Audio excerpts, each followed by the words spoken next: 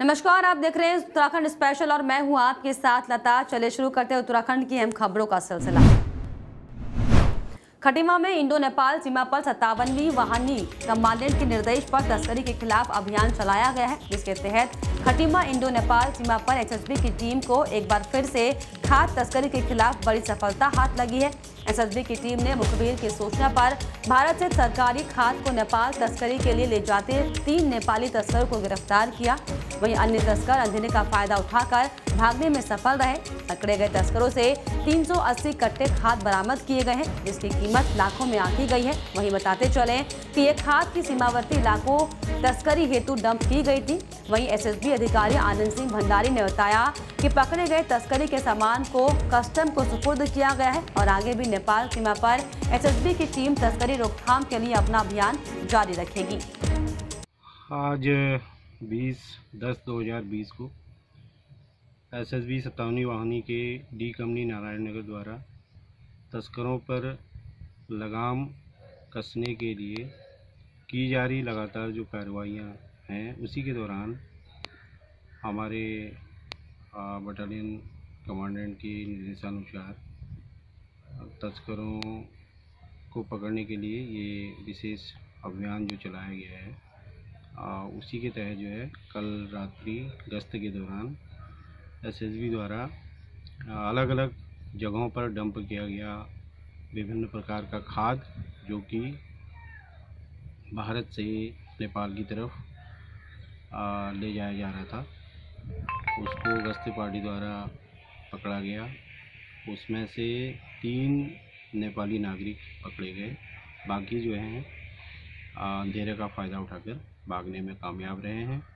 और जो खाद है, उसकी लगभग कीमत चार लाख से ऊपर जो है आंकी गई है, जिसको कि आवश्यक कार्रवाई करने के उपरांत कस्टम ऑफ़िस खतीमा को जमा कर दिया जाएगा। और इसी प्रकार से भविष्य में भी तस्करों के खिलाफ कार्रवाई जारी रहेगी।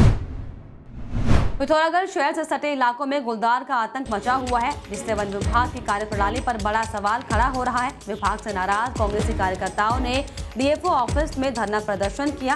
वहीं कांग्रेसियों का यह कहना है कि गुलदार को पकड़ने में विभाग पूरी तरीके से नाकाम साबित हो रहा है, जिसका खामियाजा आम लोगों को अपनी ज़िंदगी देकर भुगतना पड़ रहा है। वहीं साथ ही साथ कांग्रेस के प्रदेश उपाध्यक्ष मयूख महर ने इसके लिए चुने हुए जनप्रतिनिधियों को भी जिम्मेदार ठहराया है। रोड पर उतरे हैं, धरने पर बैठे हैं। वो ज़िम्मेदारी यहाँ के चुने हुए चुने हुए जनप्रतिनिधियों की थी।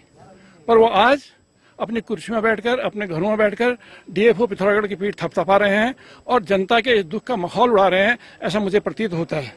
पर कांग्रेस ने हमेशा जनता का साथ दिया है, जनता के सुख दुख में भागीदारी करी है। अल्मोड़ा में रोडवेज़ कर्मचारियों ने जोरदार धरना प्रदर्शन किया। रोडवेज़ कर्मचारियों का ये कहना है कि विगत चार माह से वेतन का भुगतान नहीं किया गया है, जिससे नाराज़ होकर रोडवेज़ कर्मचारियों के सामने भुखमरी की नौबत आ चुकी है। आपको बता दें कि अल्मोड़ा के रोडवेज़ डिपो के कार्यालय के बाहर रोडवेज़ कर्मचारी इकट्ठा हुए और सरकार के खिलाफ जमकर नारेबाजी करते हुए जल्द वेतन भुगतान करने की मांग की गई। वहीं रोडवेज़ कर्मचारियों ने ये भी कहा कि पिछले जून महीने से कर्मचारियों को वेतन नहीं दिया गया है, जिससे कि उनके सामने आर्थिक संकट पैदा हो गया है, लेकिन सरकार अभी तक नींद में सोई हुई है। और अगर सरकार शीघ्र ही कर्मचारियों के हितों को देखते हुए सार्थक परिणाम नहीं लेती तो फिर कर्मचारी उग्र आंदोलन करने को बाध्य होंगे। प्रांतीय नेतृत्व के आह्वान पर एक दिन, एक दिवसीय धरने पर यहाँ पर डिपो कार्यशाला में बैठे हैं। हमें विगत जून से जून से अभी तक वेतन नहीं मिल पाया है। कर्मचारी सारा गुस्से में है और लोगों को खाने के लाले पड़ चुके हैं।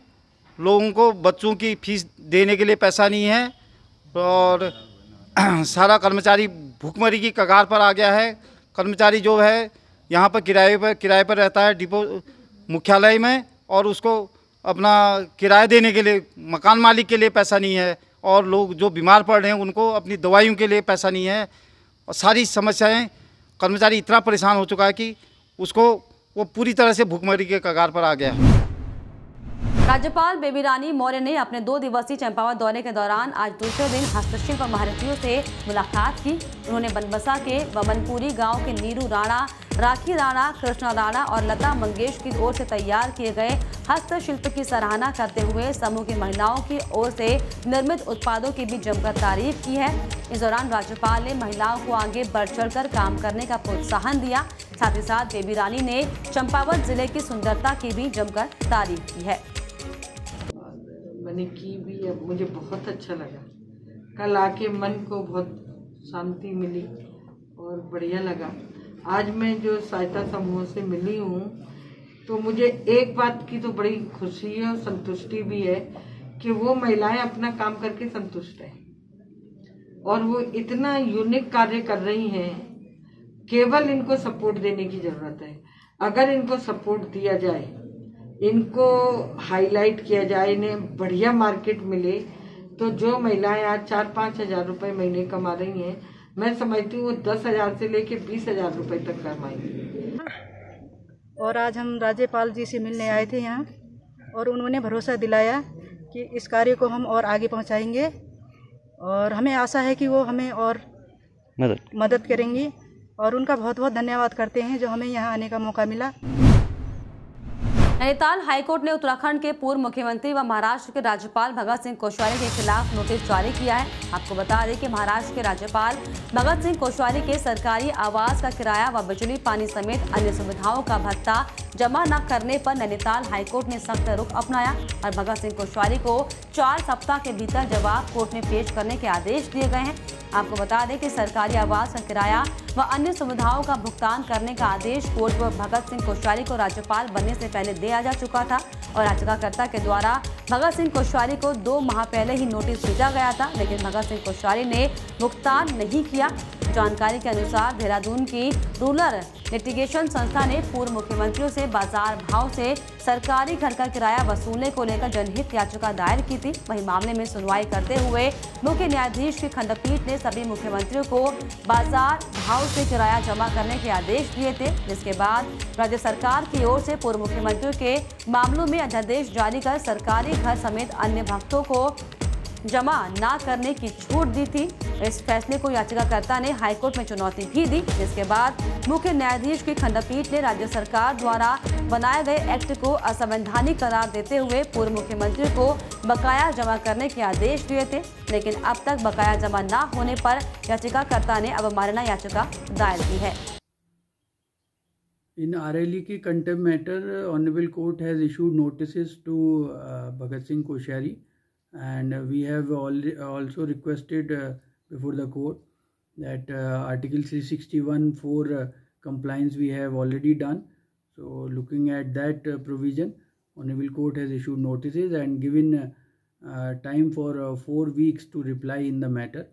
Uh, their counsel was already present. Uh, they have accepted notice and uh, hopefully they will file reply in due time.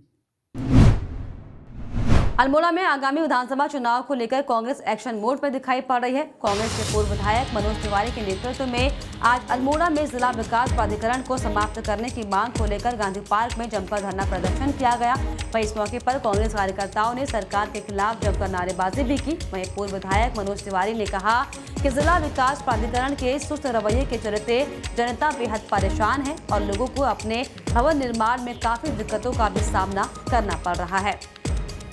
जैसा कि जब से प्रदेश में भारतीय जनता पार्टी की सरकार आई है और 2017 में एक ऐसा काला कानून हम लोग के ऊपर थोप दिया गया, पूरे प्रदेश में जिला विकास प्राधिकरण का गठन कर दिया गया। और उस प्राधिकरण के तहत कोई भी चाहे हमारा ग्रामीण क्षेत्र का हो, शहरी क्षेत्र का व्यक्ति हो, वो अपने मकान को नहीं बना सकता है। उसमें इतने उनके मानकों को इतना जटिल कर दिया है, कठोर कर दिया गया है और उसमें ऐसे प्रावधान कर दिए गए जिससे कि कोई व्यक्ति अगर एक या दो मुट्ठी में अपना मकान बना रहा है तो उसका मकान बनना बहुत असंभव है। उसमें सेटबैक छोड़ने का प्रावधान है, उसमें कार पार्किंग का प्रावधान की कार पार्किंग होनी चाहिए करके। तो हमारी सरकार से ये मांग है कि इस काले कानून को, इस जिला विकास प्राधिकरण को, पर्वतीय क्षेत्र की भौगोलिक परिस्थिति को देखते हुए इसको तत्काल निरस्त किया जाए।